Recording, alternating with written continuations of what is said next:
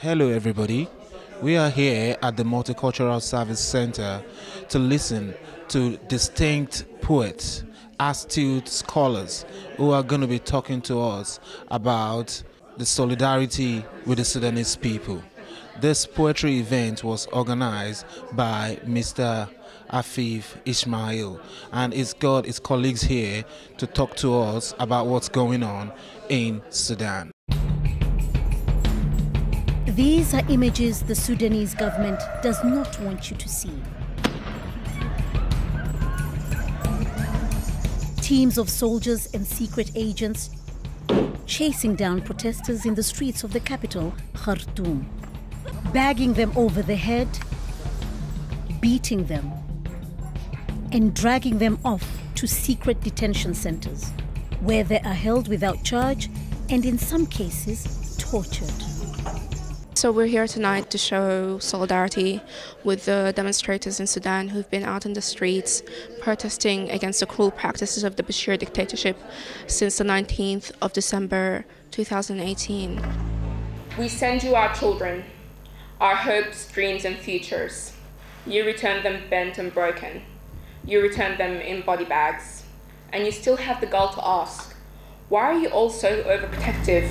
rubber bullets, tear gas, and live ammunition from an administration and a man who have ruled Sudan for 29 years. Hello, my name is Vivienne Glance. I'm a poet and I've been working with uh, Afif Ismail for about 14 years now. She holds a PhD in creative writing from the University of Western Australia, where she's an honorary research fellow.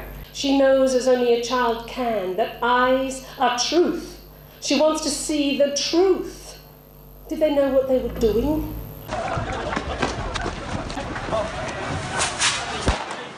These squads have been deployed since December to clear demonstrators from the streets.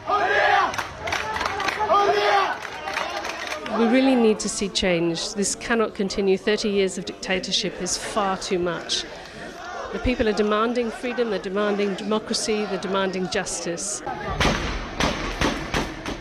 My name is Robert Wood. I'm the current chair of PEN International in Perth. PEN believes in the responsible freedom of expression and the safeguarding of human rights from a literary perspective. In your nightmarish darkness, he saw the ruins of Soba. He watched a home being trampled with his blindfolded eyes on a callous, hard day. Everything plunged into chaos. Um, our next poet is Dr. David Moody. Um, Dr. Moody is a senior lecturer of theatre and drama at Murdoch University. He is a poet, performance theatre, and writer, director, and actor. Raising her unarmed, clenched fist, and without any fear, she walked towards a wall of helmets and guns guarding the gate of the palace, the crowd behind her chanting, Bread and freedom! I have a great interest in the politics and the struggle for freedom in the Sudan. So I'm motivated by a willingness to try and stand up for people wherever they are. And just that's why I've come here because of my interest in Africa and because of my interest in uh, struggles for freedom everywhere. A paralysing economic crisis has fueled this popular uprising. Four weeks of demonstrations organised by doctors, teachers, and other professionals. Uh, my name is Afif Abdelrazik. I'm here with my people in solidarity in all diaspora we support uh, our people. Eternity. Oh, my comrades, don't worry about me while I take an eternal nap.